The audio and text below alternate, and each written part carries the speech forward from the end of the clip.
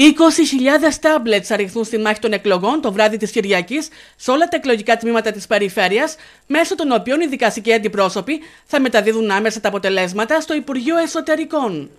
Σε επίπεδο περιφέρειας Κρήτης, παραλήφθηκαν 1.306 τάμπλετ, όσα είναι και τα εκλογικά τμήματα, με τις συσκευές να είναι εφοδιασμένες με το σύστημα ασφαλούς μετάδοσης των αποτελεσμάτων. Τα αποτελέσματα και οι δικαστικοί αντιπρόσωποι θα δίνουν αυτή την πληροφορία για την ψηφοφορία μέσω συσκευών, οι οποίες ονομάζονται ε, συσκευές ασφαλούς μετάδοσης αποτελεσμάτων, CRT.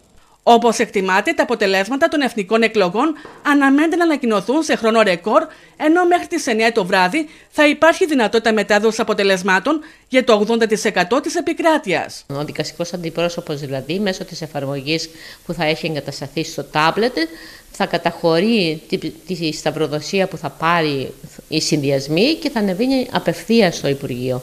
Στη συνέχεια αυτή η πληροφορία μέσω τηλεγραφήματος ψηφιοποιημένου, ηλεκτρονικού δηλαδή με email, μέσω ήριδας, θα έρχεται και στην Περιφέρεια Κρήτης και θα μεταδίδεται τηλεφωνικά στο Υπουργείο για να γίνεται η διασταύρωση της πληροφορίας.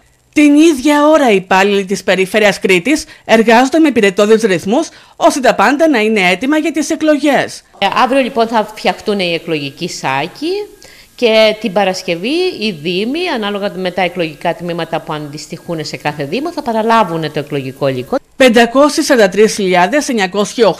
είναι εγγεγραμμένοι ψηφοφόροι στην Κρήτη, ενώ σε σύγκριση με τις βουλευτικές εκλογές του 2019 οι εγγεγραμμένοι είναι φέτος λιγότεροι, κατά 3.213